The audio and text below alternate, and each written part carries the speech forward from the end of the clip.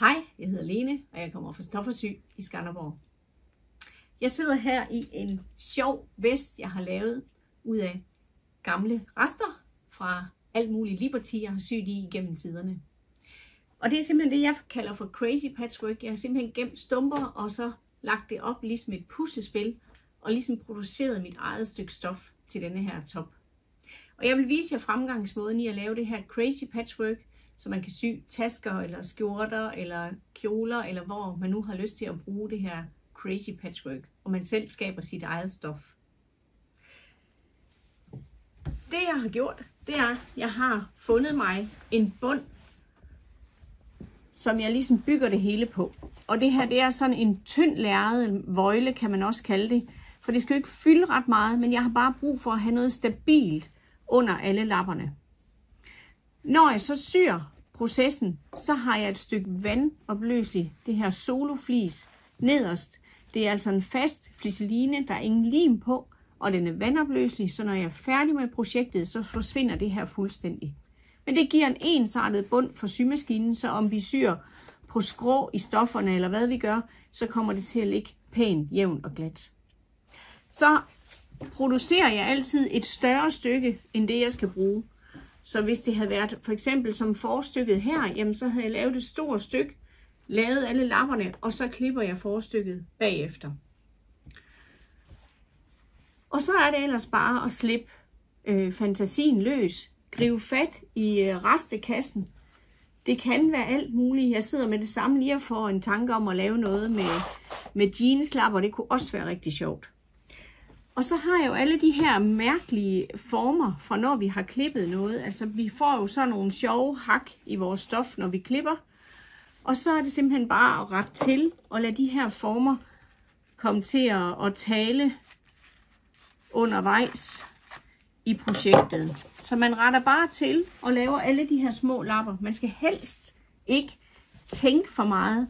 Og jeg plejer egentlig bare at lægge en stak og så sige, jamen jeg tager dem, sådan som stakken ligger, fordi begynder jeg farveplacere og siger, ej, der må kun være mørkeblå her eller noget, jamen så bliver det ikke helt crazy.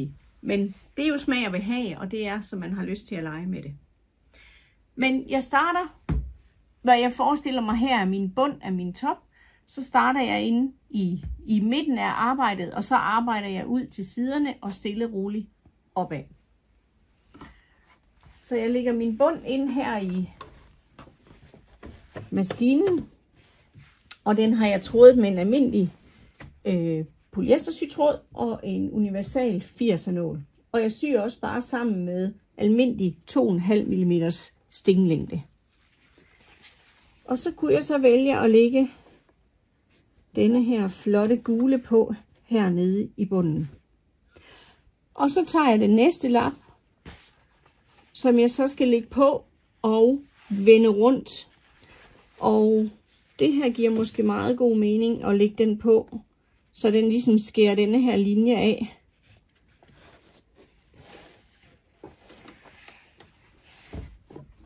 Så jeg går ind og dækker, så jeg nu får en linje, der kommer til at ligge herover. Så det er ikke noget med, at sømmerummene skal ligge oven på hinanden. Det klipper jeg til undervejs. Og jeg syr bare med sådan en øh, halv centimeter sømrum, selvom det svinger undervejs. Og jeg kan bedst lide at sy i lige linjer.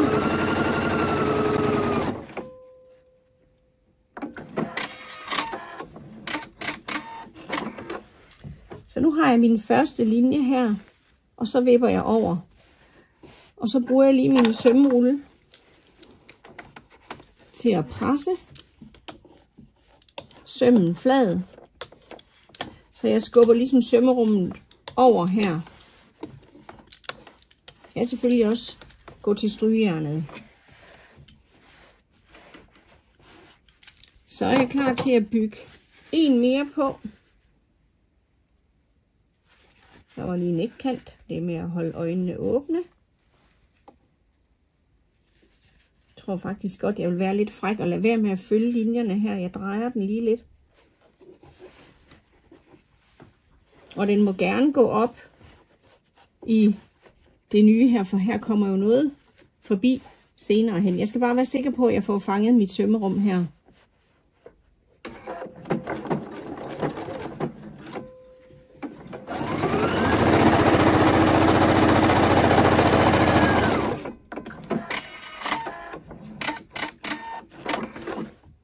Og så kan jeg vippe denne her over. Igen lige pres. Undervejs, så skal man lige tænke over at få klippet de der ujævne sømmerum af. Så vi får nogenlunde ens sømme ind under her. Så jeg klipper lige til her. Og jeg klipper selvfølgelig ikke ned i foret. Så vi får alle de her overskydende lag af. Og det er simpelthen nødt til at være en proces, der foregår undervejs, så vi ikke lige pludselig får noget lukket inde.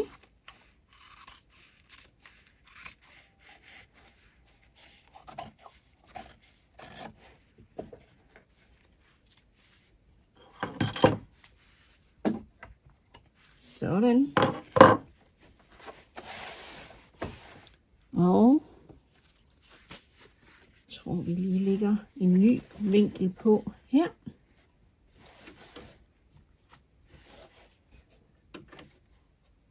Så hele tiden, og det er simpelthen ligesom puslespil, så bygger vi på og bygger på og sørger for, at foret ikke titter frem nogen steder. Og det er altså virkelig sjovt at lave og fuldstændig ude af trit med, med nogen som helst form for regler. Se, her har jeg lidt ægkant, så nu skal jeg jo sørge for, når jeg kommer herop og have skærmet det her lidt ægkant, der titter frem. Sådan der, og vi klipper igen lige i sømmerummet ned, og så presser med sømrullen.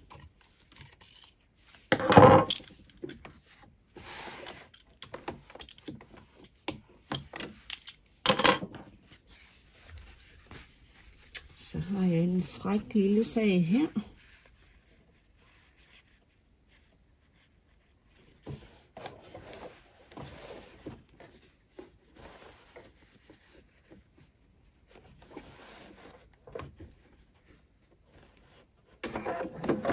Er virkelig befriende, at vi kan tillade os at gøre, som vi synes.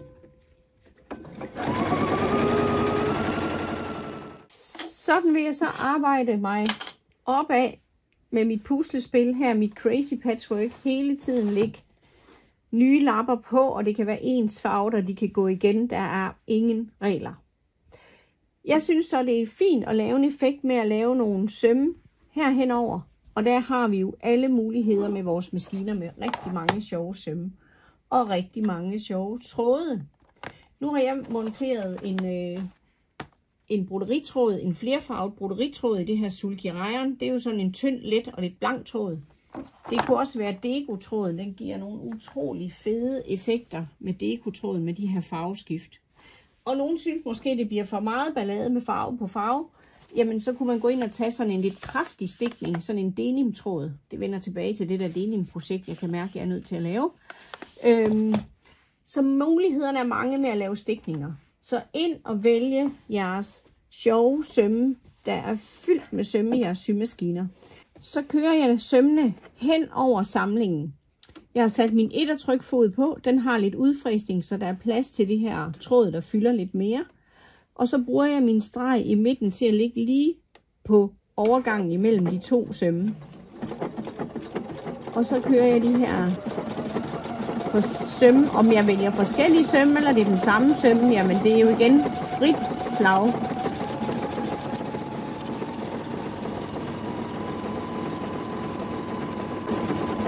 Hvis du bruger metaltråd for eksempel, som også kan være flot, så husk at sætte en topstitsnål i, der har et stort øje, så tråden ikke springer.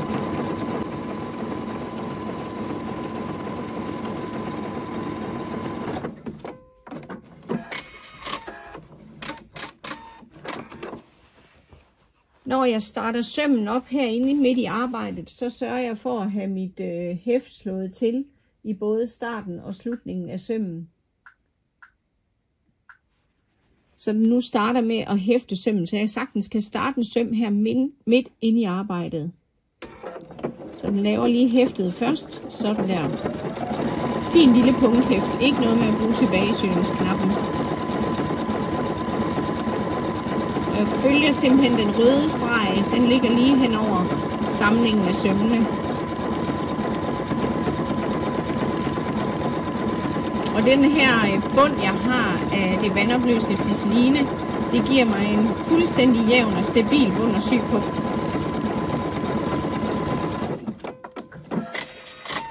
Og så bygger jeg simpelthen op hen over alle samlingerne.